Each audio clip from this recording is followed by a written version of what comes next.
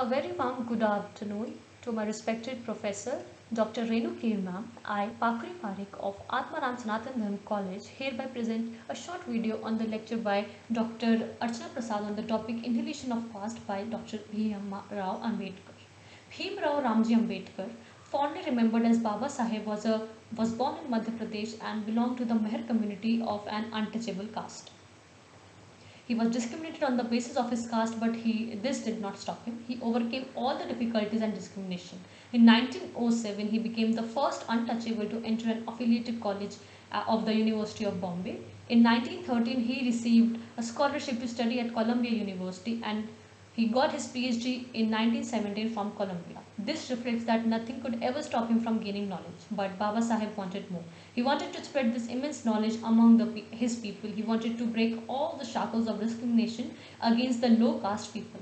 To fulfill this dream, he devoted his life for his people. In 1924, he founded the Bahishkrit Hitakarini Sabha, an organization dedicated to the improvement of the welfare of castes he became the president of All India Depressed Class Association and formed an independent Labour Party. In his chairmanship, the Constitution of India was drafted. In 1936, Dr. Ambedkar was invited by the uh, Jat Pat Toda Mandal, uh, a social reformist organization of Lahore, to deliver a presidential address of its annual conference on the topic of the caste system in India. Ambedkar sent the manuscript, which was an undelivered speech, titled The Annihilation of Caste. The organizing committee objected to his critique of the Vedas and his inclination to leave the Hindu fold. Ambedkar was asked to delete these views, to which Ambedkar replied that he would not even change a comma. The undelivered speech was subsequently published by Dr. Bhimrao Ambedkar himself in 1936.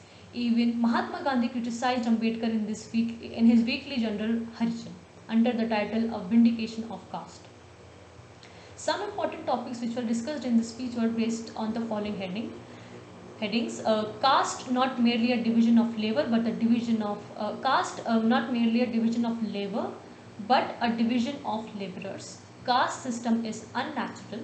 Caste cannot preserve a non-existing racial purity. Hindu society is merely a collection of castes. It is not possible to break caste without annihilating the religious notion on which it the caste system is founded. According to Ambedkar, Hinduism as a religion could ne uh, neither uh, serve social utility nor satisfy individual justice. Because of its demand and he renounced Hinduism in 1956 as and conduct, uh, concluded it was an inhumane caste and system. But all these words also got him a lot of criticism Following publication of the speech, many Hindus took offense at the radical ideas proposed therein. Gandhi too opposed these views. The official started reasoning uh, that uh, the, uh, the official stated reason was the Ambedkar was too much harsh, harsher, uh, uh, too much harsh, harsher on his critique of Hinduism. But according to Ambedkar, the real reason was that the Arya Samajists who were actually after the Shuddhification never wanted to interject the reality and really gave a lead to the social question. An untouchable could never be accepted by the Brahmin as their leader even in leading the question of caste. But Ambedkar, Ambedkar's work influenced globally. Gail Omvedt in her book Ambedkar Towards an Enlightened India writes that if Gandhi was Bapu, the father of the society in which he tried to in, uh, inject equality while maintaining Hindu framework, Ambedkar was Baba to his people and the great liberator from the framework. While Gandhi fought for freedom, uh, freedom from uh, colonial rule, Ambedkar fought for broader liberation from exploitation and oppression. If we talk about the relevance today, Professor Mawson states that Ambedkar was determined to address social reality as it is not just how we'd like it to be.